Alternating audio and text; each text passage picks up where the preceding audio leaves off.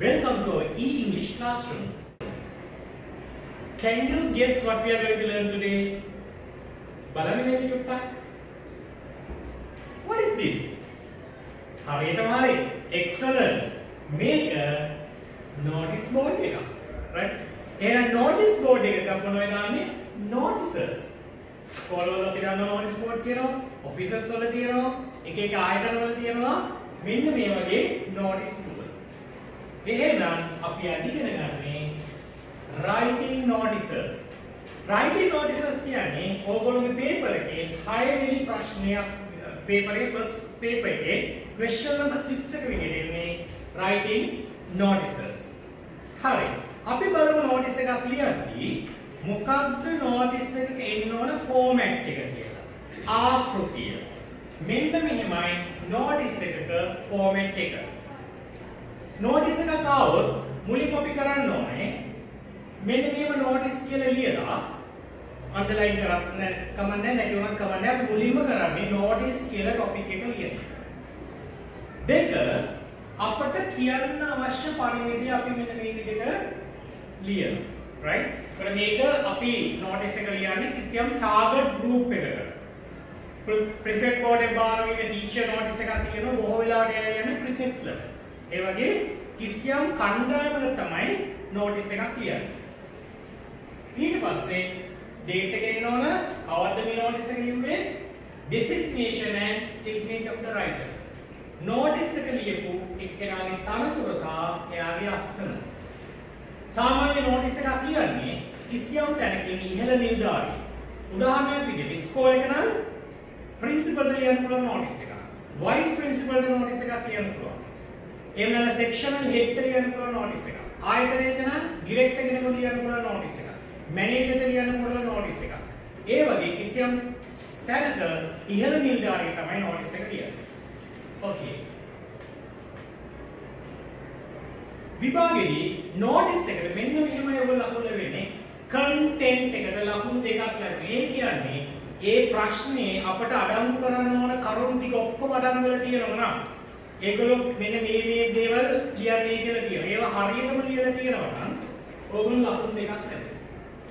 language grammatically correct sentence capitalization full stop ඒ හැම එකක් එක්කම හරියට තිබ්බොත් භාෂාවට ලකුණු තුනක් ලැබෙනවා. ওই විදිහ තමයි ඔයගොල්ලන්ට ලකුණු පහක් ලැබෙනවා notice කියන ප්‍රශ්නෙට. notice කියන ඒක question number 6 එක ලකුණු පහක් ලැබෙනවා. notice එක ලකුණු පහක් ලැබෙනවා. හරි.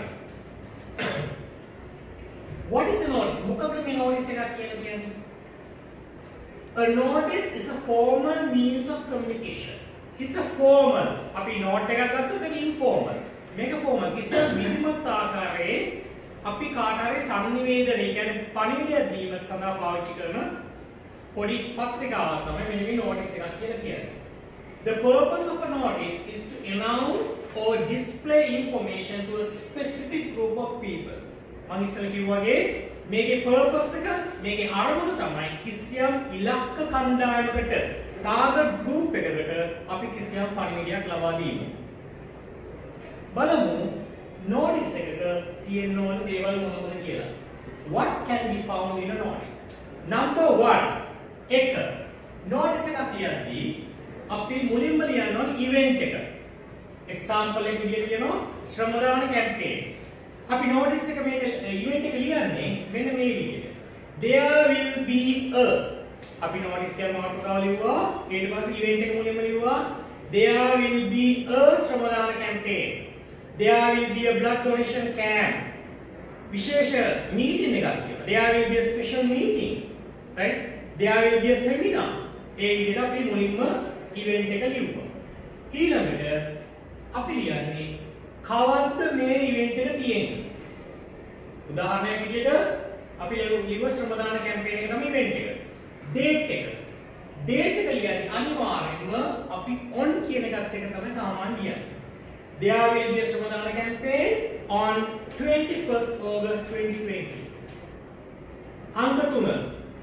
තුන්වෙනි අපි ලියන්නේ මෙන්න මේ නෝට් ශ්‍රමදාන කැම්පේන් එහෙම නැත්නම් ඉවෙන්ට් එක තියෙන දවසේ කීයටද තියෙන්නේ වෙලාව ටයිම් එක ටයිම් එක ලියද්දි හුඟක් වෙලාවට පාවිච්චි කරන්නේ at පස්සේ මම කියන්නම් අනිත් ෆෝම් පාවිච්චි කරන්න පුළුවන් මොනවද කියලා. preposition එක නිපාත පදය at. මේක පදම් කරමු. There will be a Shramadana campaign on 21st August 2020 at 10 am. අංක 4. හතරට එන්න ඕන. කොහෙද මේක තියෙන්නේ? Right? ඔබේ example එකක් තියෙන්නේ venue, place. Place කියන්නේ venue කියන්නේ place තියන්න ඕන ස්ථානය. right? In the school playground. අපිට මේකෙම සම්බන්ධ කරන්න පුළුවන් there will be a Samadana campaign on 21st August 2020 at 10 am in the school playground. right? අපිට at දාන්න පුළුවන් සමහරවිට preposition එක මේක at පාවිච්චි කරන්න පුළුවන්. okay. ඊළඟ එක. ඇයි මේක කියන්නේ? purpose එක. අරමුණ. right? ඇයි මේක තියෙන්නේ? to clean the mosquito breeding places. මදුරුවන් බෝවන ස්ථාන ක්ලීන් කරන්න. එහෙනම් අපිට මේකම හදන්න පුළුවන්.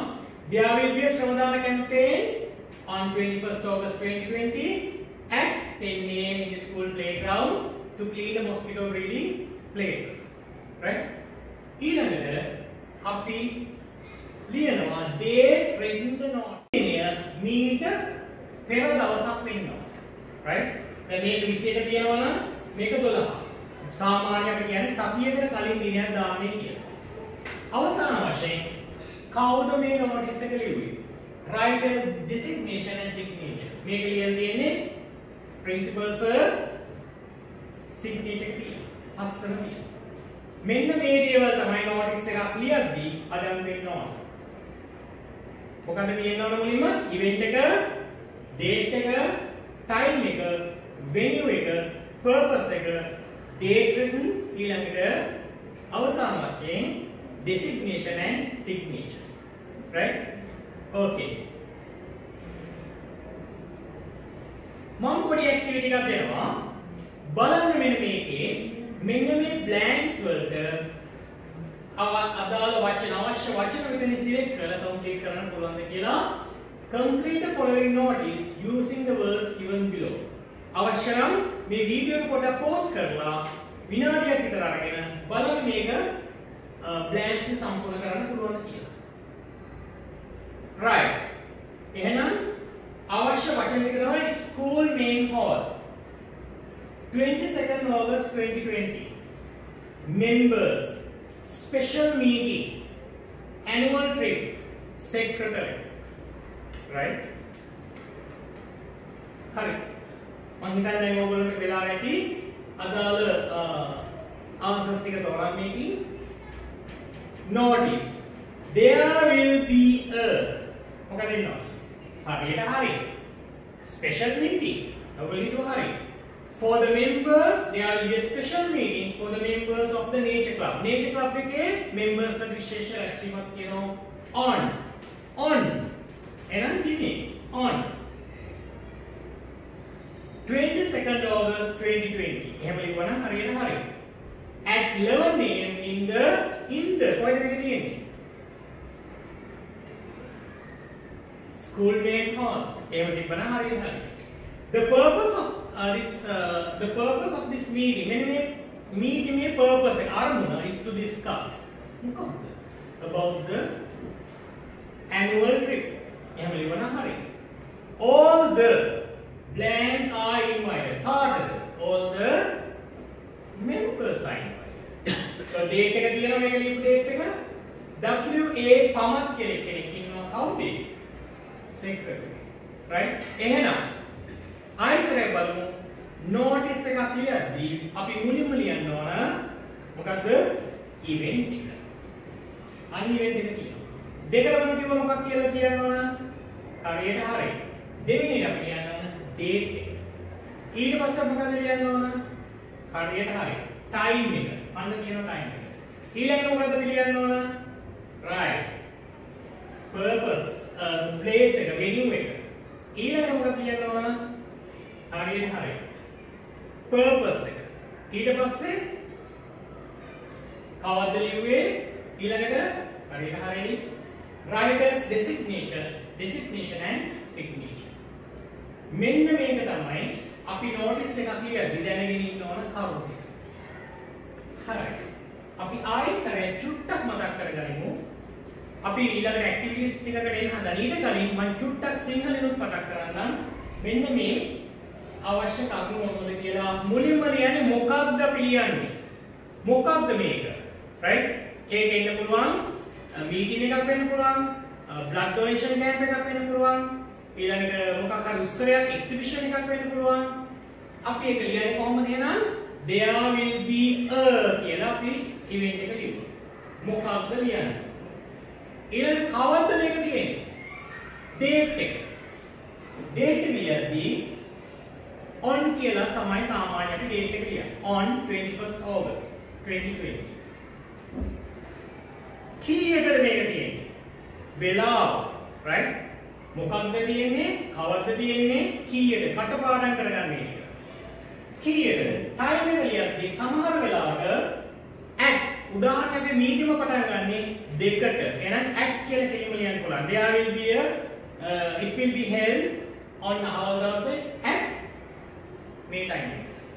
සමහරක් වෙලාවට සෙමින එකක් වර්ක්ෂොප් එකක් එක්සිබිෂන් එකක් වගේ වෙලා එකකදී මෙන්න මේ වෙලාවට පටන්ගෙන මෙන්න මේ වෙලාවට අවසන් වෙන්න ඒ කියන්නේ කිසියම් කාල පරාසයක් තියෙනවා. පටන් ගන්න වෙලාවක් තියෙනවා අවසන් වෙලාවක් තියෙනවා. වෙන වෙලාවක් තියෙනවා. එක්සිබිෂන් එකක් ගත්තොත් උදේ 8ට පටන් ගන්නවා හවස 4ට ඉවර වෙනවා. ඒ වගේ වෙලාවක අපි ගන්නවා from from 8 am to 5 pm එක 4 pm.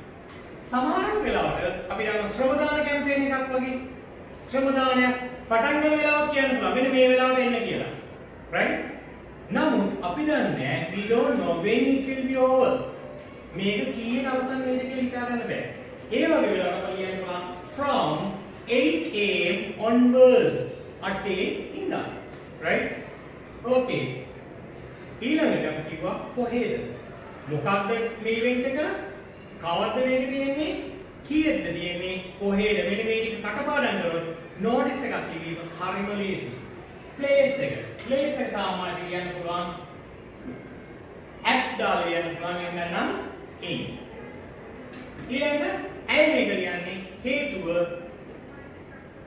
to මෙන්න මේ දේ කරා. එහෙම නැත්නම් the purpose of this Ramadan campaign the purpose of this special meeting is කියලා හේතුව ලියන්න පුළුවන්. is to. හරි. අපි එහෙනම් පොඩි ඇක්ටිවිටිස් ටිකකට එමු. බලන්න මෙන්න මේක පාස් ක්වෙස්චන් පේපර් එකකින් ගත් එකක්. You are a secretary of the English Literary Association, right? On the English Literary Association secretary of your school. You have organized a GCE O-level support seminar. ඔයගොල්ලෝ organize කරලා තියෙන GCE O-level support seminar on English for all the grade 11 students. The purpose of this seminar is to improve the writing skills of the students. මේ ළමයින්ගේ ලිවීමේ හැකියාව මදි. ඒකනේ ලිවීමේ හැකියාව දියුණු කර writing skills දියුණු කරන්න තමයි මෙන්න මේ seminar එක organize කරලා තියෙන්නේ. Write a notice to be put up on the school notice board include the following date එක ලියන්න ඕන, time එක, venue එක, resource person අලුත් වචනයක් කියනවා. resource person සම්පත් පුද්ගලයා, සම්පත් දායකයා. Right මේ සෙමින එක කරන්නේ කවුද? විශේෂ පුද්ගලයා. එයා තමයි resource person විදිහට මෙතනට සඳහන් වන්නේ. සමහරවිට chief guest වෙනවා. ආරාධක මුත්තා. හරි. අපි කිව්වා මෙන්න මේ notice එක ලියද්දි මුලින්ම කරන්න ඕන notice කියලා ලියුවා.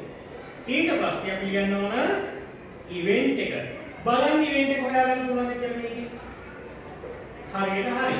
event එක තමයි මෙන්න මේ GCE O-level support seminar on English for all the grade 11 students. Right? ඒක තමයි අංක එකට ලියවෙන්න ඕන. number 1. number 2. දෙකට මොකද මම කිව්වේ? හරියට හරි. දෙකට අපි ලියන්න ඕන date. දැන් මෙතෙන්දි date එකක් දීලානේ අපි date එකක් හිතලා date එකක් දානවා. right? date එකක් අපි හිතලා ඉස්සරහා date එකක් දානවා. ඊළඟ තුන මේක දෙකෙන් ඉන්න ඕන තුන්වෙනියට time. මම කිව්ව time කියලා හතර. හරියට හරි. venue එක තැන place එක.